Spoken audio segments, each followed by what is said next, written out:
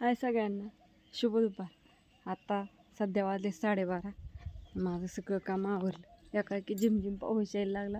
म्हणून कपडे काढायला गेले आणि कपडे घरात तिथं आणून वाळायला घातले ते. आणि चला मला करायचं आहे जेवण. अजून मी सकाळपासून जेवणच केलं नाही. सगळं काम आवरत आवरत आता हा टायमिंग झाला.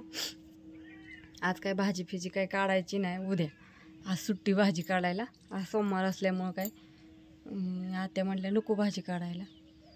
मग म्हटलं असू द्या तर बापू गेले तर भावनगरला साखर आणा येत्यालाच साखर घेऊन. आम्हाला कुपांची साखर म्हणजे त्या शेरची साखर मिळते ऊस कारखान्याला असतं त्याच्यामुळे. आणि चला आता मस्त जेवण असं बा- बाहेर आता वाट्यावर करायला जाऊ की जेवण चालले मस्त असं. सगळं बाहेरच घेऊन आली. असं पटांगणात जेवाय कर बसावं म्हणलं. तर हो मस्त झाले असं. आणि बाजवरच बसली वाट्यावरती. काय झालं? कुत्रीही बसल्या ती. पावसाने सगळं ही झालेली त्याच्या नकोच वाट्यावर बसायला. तर बाजावरती बसा. असं छान. बटाटं भेंडी श- फरसाणा आणि ज्वारीची भाकरी आणि चपाती पण आहे. खाली टोपल्यात आहे. तर आहे असं मस्तपैकी जेवण. कुत्री सगळी झोपल्या ती आपण तिथे दोन झोपले ती तिथे एक झोपले. पलीकडे एक आहे अशी चार मिळून कुत्री पण झोपल्यात. वातावरण मस्त आहे आता वातावरण असलं ते महिनाभर या सगळेजण जेवण करायला. दुपारचंच म्हणायला लागेल आता. साडेबारा वाजल्यात जेवण करायला. म्हणजे दुपारच झाली. आणि असं. काल चालली होती भाजी आणि हिन धुवायचं. हात काय भाजी काढायची नसल्यामुळं काय टेन्शन नाही. अर्धवाईत निवांत आहे.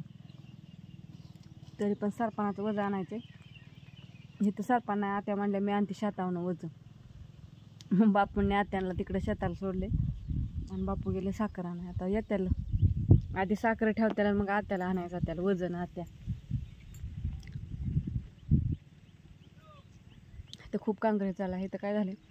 किती गावात काढलं तरी सारखंच येते म्हणून तिथं औषध मारायचे. बापूंना म्हणलं दोन तीन पंप मारा. बापू म्हणलं बरं दोन पंप लागतात तिथं आणि तिथं. आता वरचं शेताचं काम होतं आले आता इथं ही तुकडं मोकळं झाले ना भाजी लावलेलं ते. आता उद्या किती त्याला पण पाळही घालू आणि लावायचं इथं मस्तपैकी थोडं थोडं माळवं.